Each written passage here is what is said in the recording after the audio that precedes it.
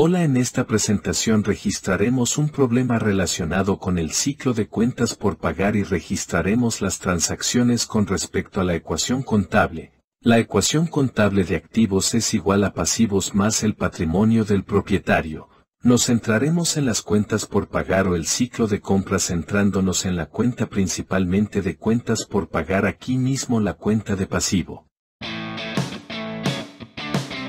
Recuerde que registraremos estas transacciones relacionadas con la ecuación contable y necesitamos saber qué cuentas son las cuentas con respecto a la categoría de cuenta de la ecuación contable, lo que significa que los activos incluyen efectivo, cuentas por cobrar y suministros. Los pasivos incluirán cuentas por pagar y la sección de patrimonio. En este caso, el patrimonio del propietario, porque estamos hablando de un propietario único, es el capital y toda la cuenta de resultados de ingresos y gastos que forma parte de la sección de patrimonio. Recuerde que los principios de la sección de equidad pueden aplicarse a otros tipos de entidades, incluidas las sociedades y las corporaciones simplemente significa que una sección de capital de sociedades se llamará capital de socios y capital de accionistas de una corporación. Sin embargo, toda la sección de equidad tomada en su conjunto seguirá siendo la misma. Excepto en una corporación, por supuesto, la cuenta de capital se llamaría habríamos retenido ganancias y acciones ordinarias. Y en una sociedad, tendríamos múltiples cuentas de capital para múltiples socios, pero en total, la, sección de patrimonio seguirá abarcando todo el estado de resultados, incluidos los ingresos y gastos, y el monto adeudado al propietario. En este caso, formateado en términos de la cuenta de capital, registraremos las transacciones. Aquí, tomando el saldo inicial más la transacción nos llevó al saldo final, cada transacción tendrá, por supuesto, dos cuentas afectadas y la ecuación contable permanecerá en equilibrio después de cada transacción. Echemos un vistazo a la primera transacción que una compra suministra a cuenta por 585 pesos. Entonces, la primera pregunta que normalmente haríamos es, ¿se ve afectado el efectivo? En este caso, vamos a decir que no se ve afectado porque compramos los suministros a cuenta. Por lo tanto, no pagamos en efectivo por ello. Lo que hicimos fue comprarlo en cuentas por pagar. Ahora, a menudo, voy a comenzar a ir a nuestra segunda pregunta en el proceso de pensamiento, que será útil más adelante a medida que hagamos débitos y créditos. Y es decir, ¿qué recibimos? En este caso, recibimos suministros y los suministros estarán aquí en la sección de activos. Así que voy a ir en columna, 4 más en columna A. Y, entonces, estoy en la columna de la celda F4, es el primer problema o una hoja de trabajo, y vamos a aumentar los suministros en 585. Así que solo voy a escribir 585, no se necesita un formato especial, ahora estoy en la venta en lugar de en la venta, voy a presionar Enter, y eso pondrá ese saldo allí. Entonces tendremos que hacer algo en otra cuenta aquí que la cuenta no disminuya el efectivo, sino que aumente el pagadero. Así que vamos a aumentar el pagadero, podría ser un poco más confuso si no hubiéramos sabido que este lado del signo igual está subiendo para saber si el pagadero está subiendo o bajando, lo que significa que en este caso, el pago es algo malo. Y realmente eso malo está subiendo, así que debemos más dinero, algo así como si compramos algo en un estado de cuenta de tarjeta de crédito. Entonces deberíamos más dinero a los estados de cuenta de la tarjeta de crédito para que también sepamos que las cuentas por pagar están subiendo porque está al otro lado del signo igual. Si la oferta aumenta, entonces el pago también debe subir. Así que vamos a ingresar 585 aquí en este lado también. Luego voy a poner ceros al resto de la hoja de trabajo para que tengamos que practicar poner los ceros allí. Y así podemos tener una hoja de trabajo completa sin celdas vacías. Además, algunos programas de base de datos, dependiendo de la tarea en la que esté trabajando, tendrán lo mismo. Así que voy a poner cero en el que estoy antes de cero, pestaña, pestaña y de 4, 0, pestaña, pestaña, pestaña, pestaña, pestaña, tabulación, y J4, 0, tab tab y L4, 0, tab tab, y 4, 0, tab tab y P4, 0, enter. Ahora, en realidad es una buena práctica trabajar a través de la tabulación a través de la entrada de datos, en realidad le ahorrará mucho tiempo más adelante. Y no, parece una especie de trabajo sin cerebro, pero no es un trabajo innecesario. No es un trabajo inutilizable, va a ser algo que ahorrará tiempo para que pueda llegar a ese tipo de trabajo que es más intensivo en términos de cálculos. También voy a poner los ceros aquí en el balance inicial donde no empezamos, no tuvimos el problema de comenzar con eso pero también nos incluiremos aquí. Así que en D3 se puede poner 0 tab tab F3 0 tab, tab, H3, 0, tab, tab, tab, tab, L3, 0, tab, tab, I3, 0, tab, tab IP3, 0 y entrar. Tenga en cuenta que en este problema, comenzamos con este saldo inicial de 50. Con 50.000 en efectivo y 50.000. En capital, entramos esta primera transacción aquí, aumentando los suministros y aumentando los pagaderos, aumentando así el lado del activo en el 585, y aumentando el pasivo y el lado del capital en el mismo 585. Podemos ver que el factor de equilibrio ocurre aquí, los activos totales son iguales y los pasivos totales más el patrimonio, el ingreso neto no tiene cambios, el ingreso neto se calcula como ingresos menos gastos. No se han producido ingresos en este momento, ni gastos. No hay efecto en el ingreso neto porque compramos los suministros aún no hemos gastado o utilizado los suministros. A continuación, vamos a, vamos a resumir y registrar el nuevo equilibrio. Así que aquí está el equilibrio anterior, básicamente vamos a sumar cada columna de esta fila y llegar al nuevo equilibrio en esta columna, usaremos la función más popular, la más famosa, la más útil y la más necesaria. La función de suma, así que voy a decir que es igual a su m, haga doble clic en la función suma, resalte 50 y el 0 y la tabulación. Ahora voy a hacer esto solo donde los números son nuestros primeros. Así que soy una f, f5 es igual a su m, haga doble clic en la función suma, resalte el 0 y el 5 en 5, e ingrese, voy a estar en h5 es igual a su m, haga doble clic en la función suma, resalte el 0 y el 585. Voy a seleccionar Tab Tab, estoy en J, 5 es igual a su M, haga doble clic en la función suma, resalte el 50 y el 0 y entre. Eso debería poner nuestro equilibrio y equilibrio ahora. Así que ahora, si nos desplazamos hacia atrás aquí, vemos que los activos totales en nuestro balance son iguales a los pasivos más el patrimonio, podemos confirmarlo resaltando los activos totales, sumando 50.585, sumando los pasivos y el patrimonio en el otro lado, también equivale igualmente a 50.585. Luego voy a resumir los ceros aquí simplemente sumando los ceros solo para completar nuestra hoja de trabajo. Así que no tenemos celdas en blanco en la hoja de trabajo, vamos a usar la misma función de suma, así que vamos a practicar la función de suma. Sin embargo, esta vez, vamos a hacer eso solo con el teclado. Así que vamos a decir que es igual a su M, mantener presionado, cambiar 9, flecha arriba una vez, mantener presionado, cambiar flecha arriba nuevamente, y tabular, ahí está nuestro 0. Sumamos 0 más 0 es igual a 0 tabulación. Ahora en la celda L5 es igual a su M, Shift F9, suelta Shift, flecha arriba, una vez, mantén presionado, cambia la flecha hacia arriba nuevamente, y Tab, Tab, en la celda en 5 es igual a su M. Chef 9, suelta Chef, flecha arriba, una vez, mantén presionada la tecla mayús, o flecha arriba nuevamente, y Tab, tabulador, en P5 es igual a su M, desplaza 9, suelta la flecha hacia arriba una vez, mantén presionada, vuelve a subir la flecha y entra. Así que ahora hemos ingresado los datos para el diario en la transacción una vez, así que aquí está nuestro saldo inicial, esto es lo que sucedió. Aquí está el saldo final. Ahora solo nos preocupa esta fila, este es nuestro punto de partida, luego ingresaremos los datos en la transacción B y luego agregaremos el saldo más la transacción B para llegar a la nueva transacción. Desplazándonos hacia abajo hasta nuestros datos, se nos ha pagado por la compra de suministros en el pasado a cuenta, por lo que debe comprarse en efectivo en la cuenta 585. Así que ahora nos preguntaríamos si el efectivo está afectado. Y en este caso, vamos a decir que sí, pagamos en efectivo. Ahora, también dijimos algo dicho a cuenta, y podríamos estar pensando bien que a cuenta típicamente significa cuentas por pagar o cuentas por cobrar, significará en este caso, cuentas por pagar pero probablemente queramos pensar primero en efectivo siempre que sea posible, porque es más fácil saber si el efectivo sube o baja y luego será mucho más fácil saber si debitamos o acreditamos efectivo. Por lo tanto, es una buena práctica decir pensemos primero en el efectivo. Y cada vez que dice pagado, eso significa que el efectivo se ve afectado. Por lo tanto voy a estar en la celda B6, voy a poner un 585 negativo y entrar. Así que vamos a disminuir el efectivo.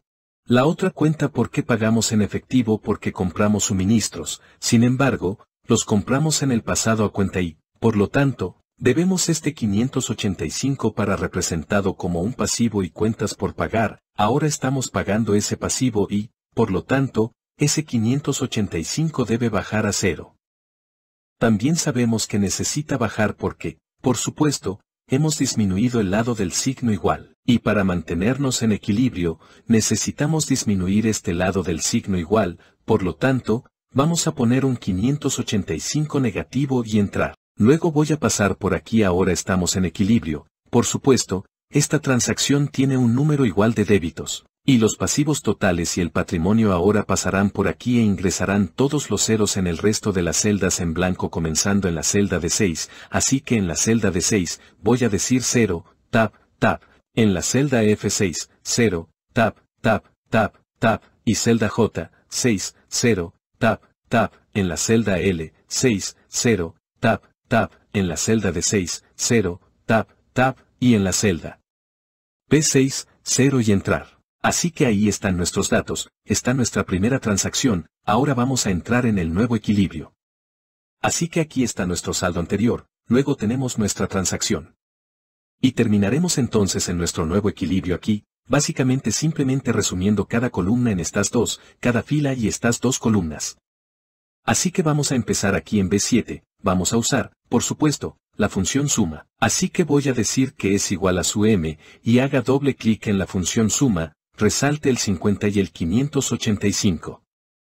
Ahora, aunque estamos usando una función suma, que indica suma, veremos que la resta ocurre debido al hecho de que el segundo número es un número negativo, XLB un número positivo más un número negativo, lo que resulta en un problema de resta. Así que eso es lo que esperábamos ver que queríamos ver bajar porque pagamos en efectivo, voy a desplazarme por aquí hasta H7 y trabajar con las ventas donde tuvimos transacciones primero. Entonces, en H7 es igual a su M, haga doble clic en la función suma y luego resalte 585 y 585. Y entra, eso vuelve a bajar a 00. En cuentas por pagar es lo que esperaríamos, dado el hecho de que ahora hemos pagado lo que debíamos de una compra en el pasado. Vamos a pasar ahora e ingresar el resto de las transacciones con datos en el periodo de tiempo anterior. Tenga en cuenta que hemos reducido los puntos donde tenemos datos en la transacción actual, pero todavía estamos desequilibrados en nuestra columna de saldo, porque no hemos reducido los datos de aquellos puntos que no están en la transacción actual. Y ahora lo haremos. Así que comencemos con F7 es igual a su M, haga doble clic en la función suma, resalte el 5, un 5 y el 0 y tabulación, pestaña, pestaña tabuladora. Ahora estamos en J7 es igual a su M, haga doble clic en la función suma, resalte el 50 y el 0, y Enter. Ahora solo voy a bajar el resto de los ceros, voy a usar la misma función de suma, pero para practicar algo un poco diferente, usaremos la función de suma solo con el teclado. Así que estoy en la celda de 7, es igual a su m, shift 9, up arrow one time, hold down, shift up arrow again, and tab, tap, tap, tap, tap, tap, tap, tap, todo el camino aquí en L7. L7 es igual a su m, shift 9, su auto shift, up one time, hold down, shift up again, y tabulación, pestaña. Y así, en 7 es igual a su M, cambiar 9, soltar el desplazamiento hacia arriba una vez, mantener presionado, cambiar la flecha hacia arriba nuevamente, y tap tap, en la celda P7, es igual a su M, cambiar 9, soltar el cambio hacia arriba una vez, mantener presionado, cambiar la flecha hacia arriba nuevamente y entrar. Así que ahora tenemos el nuevo equilibrio. Aquí estamos ahora en equilibrio, podemos resaltar estos dos. Deje que Excel calcule esto para nosotros en 50.000 activos totales y resalte los pasivos y el patrimonio para Excel para calcular los mismos 50.000 o posiblemente 50.000 diferentes pero las cantidades son iguales. En cualquier caso, ahora vamos a registrar una transacción ver, recordando que este es el punto de partida en el que estamos en nuestro saldo inicial, no nos preocupa en absoluto nada por encima de esto en este momento. Solo nos preocupa este equilibrio nuestra nueva transacción, y luego el nuevo saldo que resultará de estas tres columnas. Echemos un vistazo a la transacción se compra oro sorbes a cuenta. Entonces, la primera pregunta es ¿puede CAS verse afectado cuando compramos el servicio de automóvil? Y en este caso, vamos a decir que no, no es porque no diga dinero pagado. Obviamente en la vida real, sabríamos esto con bastante facilidad. Y un problema de libros, va a tener que decirnos alguna vez. Por lo general, la mayoría de los mensajes de texto le dirán que está pagado o recibido, y pagado o recibido significa efectivo a cuenta, generalmente significará cuentas por cobrar o cuentas por pagar. En este caso, por supuesto, significa cuentas por pagar, ya que estamos trabajando con el ciclo de cuentas por pagar o el ciclo de compra. Ahora, porque a menudo es más fácil pensar en lo que hemos recibido, tanto en términos de la ecuación contable, porque es, es más fácil saber si esa cuenta subirá o bajará. Y definitivamente será más fácil cuando pasemos a débitos y créditos, sugiero que si el efectivo no se ve afectado, primero pensemos en lo que obtuvimos. En este caso, obtuvimos servicio automático. Ahora el servicio de automóviles no es el automóvil, que sería un activo, es solo el mantenimiento del automóvil, que va a estar aquí y los gastos, todos los gastos, todas las cuentas de estado de resultados que forman parte de la sección de patrimonio. Así que estamos en su incel en 8 en la sección de equidad. Y lo que vamos a hacer aquí es poner este 416 y disminuir la sección de equidad en 416. Ahora la sección de equidad está bajando por gastos. Porque los gastos solo van en una dirección, los gastos van en la dirección del gasto. Más tarde, vamos a decir que siempre sube, los gastos siempre suben. Pero los gastos que aumentan reducirán los ingresos netos y reducirán el patrimonio total por lo tanto, va a ser negativo en términos de la sección de equidad en la ecuación contable. Y eso podría ser un poco confuso cuando estamos considerando la ecuación contable. Sin embargo, cuando trabajamos con débitos y créditos, los gastos siempre serán básicamente un débito. Y comenzará a ser mucho más fácil saber que los gastos serán un débito todo el tiempo. Cuando trabajamos con la ecuación contable, sabemos que los gastos siempre van a disminuir el patrimonio, porque sabemos que los gastos van a disminuir los ingresos netos, los ingresos netos calculados como ingresos menos gastos. Así que sabemos que el otro lado entonces no va a ser efectivo porque no pagamos en efectivo, y por lo tanto deben ser otras cuentas, que otras cuentas sean una cuenta de pasivo. Entonces, nuevamente, puede ser difícil saber si esta cuenta de cuentas por pagar está subiendo o bajando, porque es algo malo y está subiendo o bajando, estamos recibiendo más responsabilidad, lo que significa que debemos más dinero, compramos algo a crédito. Por lo tanto, lo expreso como lo malo está subiendo, lo que significa que básicamente nuestros saldos están subiendo, puede pensar en ello como si el saldo de una tarjeta de crédito estuviera subiendo, debemos más dinero para la compra del servicio de automóviles. En otras palabras, y por lo tanto va a ir aumentando. Ahora también sabemos que va a aumentar porque esto y esto, ambas cuentas están en el mismo lado del signo igual. Por lo tanto, si esto está bajando, y esto está en el mismo lado, entonces debe estar subiendo. Así que ahí está nuestro 416 y entra. Ahí está nuestra transacción, voy a seguir adelante e ingresar el resto de los datos aquí. Comenzando con la celda B8, vamos a pasar a ingresar los ceros nuevamente. Así que voy a decir 0, tab tab en la celda de 8, 0, tab tab en la celda F8, 0, tab, tab, tab tab en la celda J8, 0, tab tab en la celda L8, 0, tab, tab, tab tab en cel P8, 0 y enter. Ahora reduciremos los equilibrios. Así que vamos a resumir, recuerden, solo estamos viendo el saldo anterior, que es este saldo y agregando a él la transacción actual de esta transacción, lo que resultará en el nuevo saldo aquí. La forma en que calcularemos esto es simplemente para resumir cada columna en estas tres filas. Y comenzaremos con las filas con actividad, que será primero esta fila aquí con nuestra actividad actual, nuestra transacción actual, así que estaremos en H9 igual a su M, haga doble clic en la función suma, resalte el 0 y el 416 y la tabulación, luego nos moveremos aquí a N9, vamos a decir que es igual a su M, haga doble clic en la función suma, resalte el 0 y el 416 y la tabulación. Así que ahí están esas actividades. Tenga en cuenta que aunque hemos reducido los saldos de nuestra transacción actual, en este caso particular, cuando reducimos los saldos de estas transacciones estaban realmente en equilibrio porque no hay ninguna transacción o datos en la cuenta de entradas anteriores. 1957. Pero para reducir todos los números, necesitamos reducir el resto de los saldos que tienen actividad en ellos. Y entonces necesitamos reducir toda esta actividad que tiene los otros equilibrios iniciales, y por lo tanto usaremos esta función de suma, una vez más, trabajando con aquellas celdas, que primero tienen datos en ellas en términos de números en lugar de ceros, comenzando con la fila o columna B, celda B9 es igual a su M, haga doble clic en la función suma resaltando el 49 para 15 y el 0 y la tabulación, luego pase a la celda F9 es igual a su M, y haga doble clic en la función suma. Resaltando el 585 y el 0, y tabulación, tabulación, tabulación, tabulación. Ahora en la celda J, 9 es igual a su M, haga doble clic en la función suma, resalte el 50 y el 0, y tabule.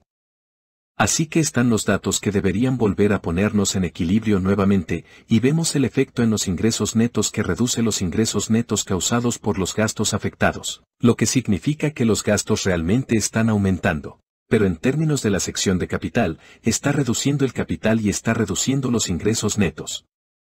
Es importante recordar y tener en cuenta que es útil recordar y tener en cuenta que el patrimonio total irá en la misma dirección que el ingreso neto, el ingreso neto aumenta con un aumento en los ingresos. Y al igual que la equidad, el ingreso neto disminuye con un aumento en el gasto, al igual que la sección de equidad en total, ahora vamos a reducir el resto de los números. Vamos a sumar todos los ceros de este tiempo usando la función de suma únicamente con el teclado, comenzando con la celda de 9 igual a su M Shift F9.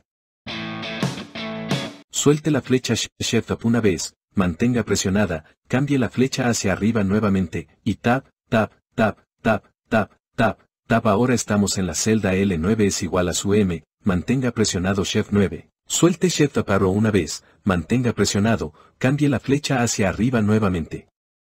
Y pestaña, pestaña, pestaña. Ahora estamos en así que P9 es igual a su M, mantenga presionado Shift 9, suelte el cambio hacia arriba una vez, mantenga presionado, cambie la flecha hacia arriba nuevamente y entre.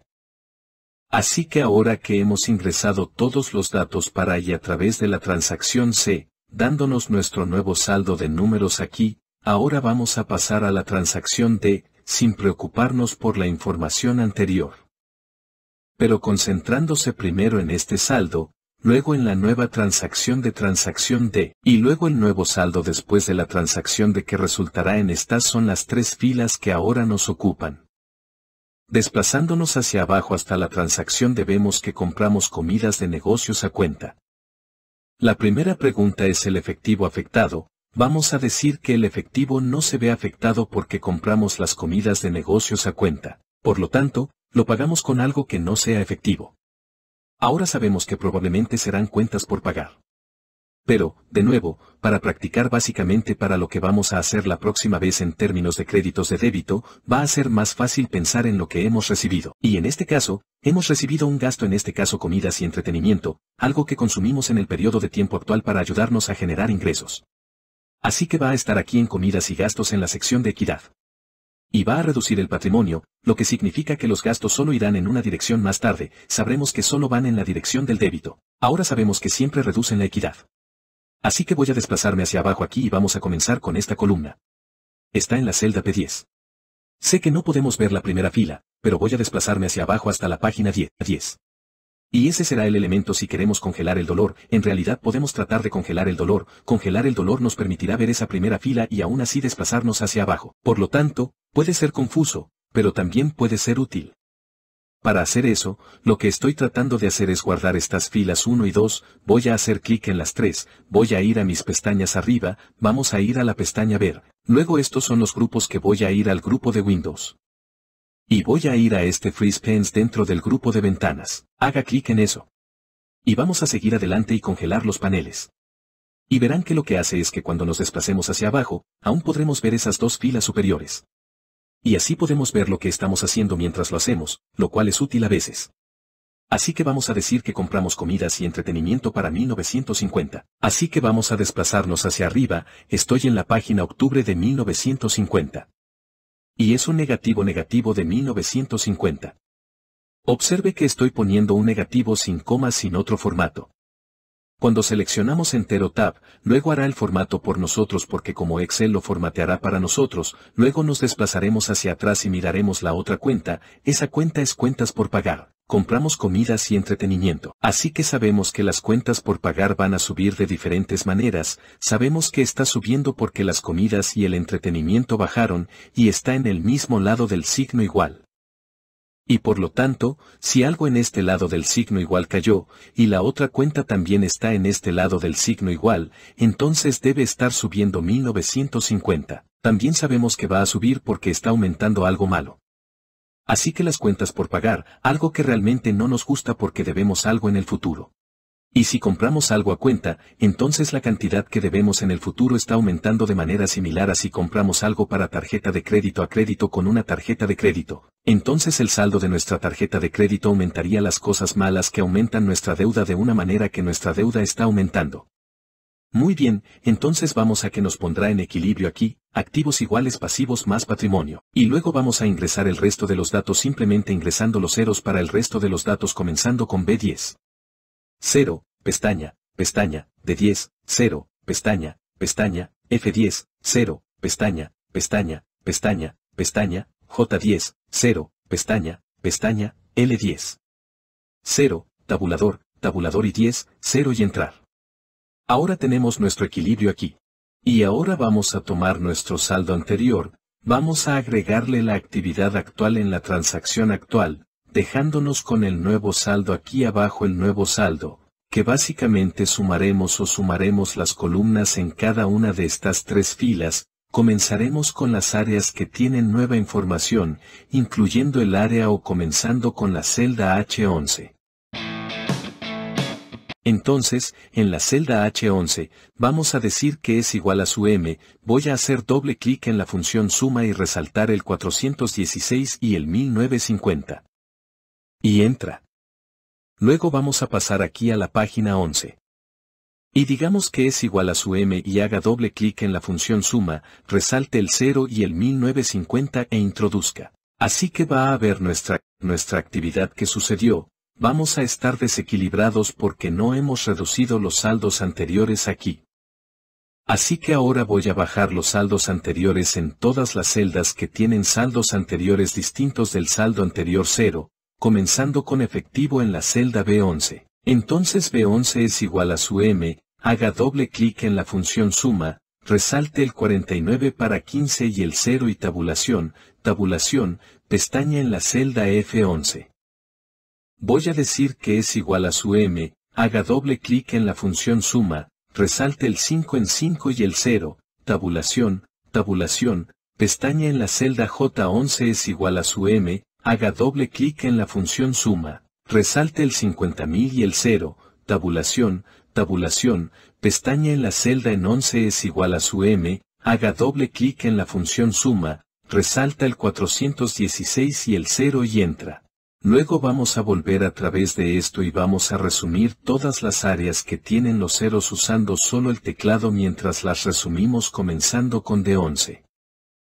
Entonces, en la celda de 11 es igual a Amsum mantenga presionado mayús 9 suelte la flecha mayúscula hacia arriba una vez mantenga presionada la flecha mayúscula hacia arriba nuevamente y tab en la celda L11 es igual a su M. Mantenga presionada mayús 9 suelte la flecha mayúscula arriba una vez mantenga presionada la flecha mayús hacia arriba nuevamente y entre.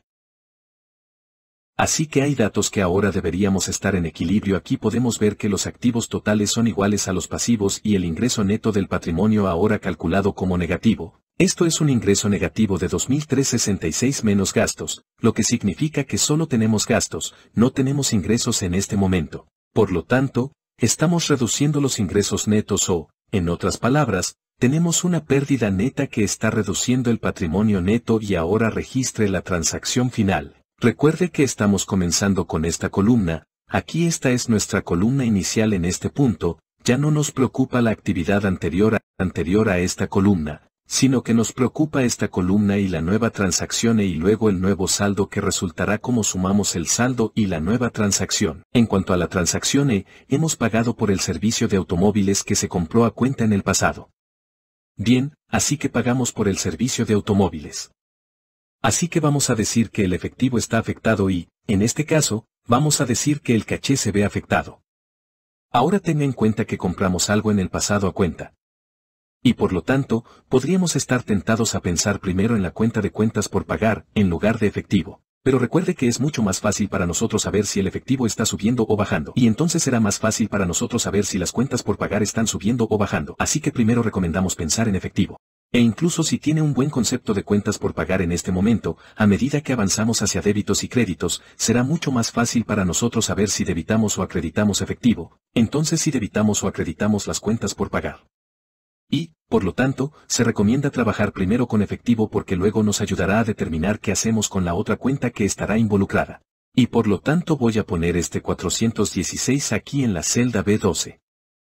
Y será negativo para 16. Así que no vamos a poner ningún corchete alrededor, solo vamos a poner el signo negativo e ingresar y el signo negativo será formateado por Excel, luego vamos a ir al otro lado de la transacción, que serán las cuentas por pagar, por lo que las cuentas por pagar aquí también deben bajar por el 416. Así que voy a poner un 416 negativo. ¿Por qué debe estar bajando? Podemos saber esto por al menos dos razones. Una es que si este lado del signo igual está bajando, y sabemos que la otra transacción está aquí en el otro lado del signo igual, entonces dos deben estar bajando para que la ecuación contable permanezca en equilibrio. También sabemos que debe estar bajando porque estamos pagando las cuentas por pagar y, por lo tanto, debíamos algo. Y ahora, después de pagarlo, debemos menos la cuenta aquí que muestra lo que debemos entonces debería estar disminuyendo. Así que esa va a ser nuestra transacción, ahora estamos en equilibrio, lo que significa activos iguales pasivos más patrimonio en esta transacción, es decir, ahora registraremos los ceros en esta transacción para completar el resto de las celdas. Así que estamos en la celda de 12. 0 tap tap, así que F12, 0, tap, tap, tap, tap, celda J12. 0 tap tap. Así que L12. 0 tap tap. Así que N12. 0, tap tap y así P12.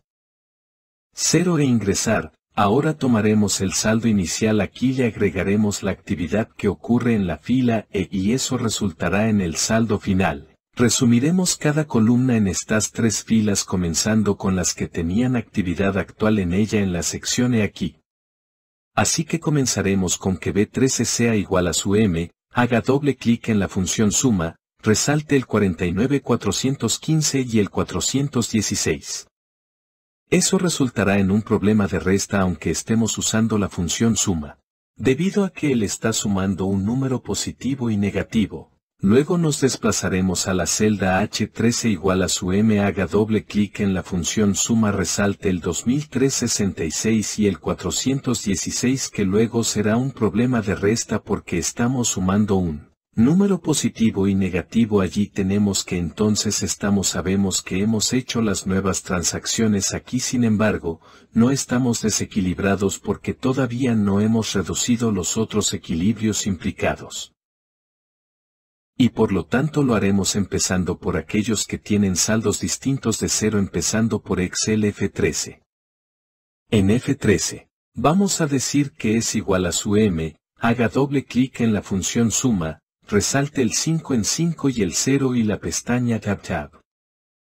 Entonces ahora estamos en la celda J13 es igual a su M haga doble clic en la función suma, resalte el 50.000 y el 0, Tab Tab Tab Tab. Ahora estamos en la celda en 13 es igual a su M hacer doble clic en la función suma resaltar el 416 y el 0 Tab Tab. Ahora estamos en por lo que P13 es igual a su M doble clic en la función suma resaltar el 1950 y el 0 e introducir que debe ponernos de nuevo en equilibrio activos totales es igual pasivos más. Patrimonio neto o ingresos netos siguen siendo los mismos en 2366 calculado como 146416 más 1950. Y también podemos calcular que estamos en equilibrio destacando el lado del activo sumando 49,585 y el lado del pasivo y el patrimonio también sumando 49,585. Ahora reduciremos los últimos dos saldos aquí resumiendo usando solo el teclado en la celda de 13. El punto de partida es igual a su M, Nan, suelta Paro una vez, mantén presionada Chef Paro nuevamente, y tap, tap, tap, tap, tap, tap, tap, tabul, tap, tap, en la celda L13 es igual a su M. Desplaza 9, suelta la flecha hacia arriba una vez, mantén presionada, cambia, vuelve a subir la flecha y entra. Así que ahora tenemos nuestra hoja de trabajo completa o completa aquí. Centrándonos en la cuenta de cuentas por pagar, veremos una tendencia como sucederá en todas las cuentas por pagar que siendo que primero vamos a tener algún tipo de factura aumentando la cuenta por pagar, aumentando la cantidad que debemos, luego pagaremos esa factura en algún formato, disminuyendo la cantidad que debemos, luego aumentaremos la cantidad que debemos comprando otra cosa en las cuentas, aumentando la cantidad que debemos, nuevamente, aumentando la cantidad que debemos, y en algún momento, disminuiremos la cantidad que debemos. Entonces, si estamos pagando a los proveedores reales, a menudo veremos que las cantidades exactas coinciden para que podamos atarlos. Aquí está la factura. Aquí está el pago. Aquí está la factura. Aquí está el pago. En este caso, aún no hemos pagado este artículo aquí, este artículo aquí que luego queda esperaremos pagar eso en algún momento en el futuro cercano.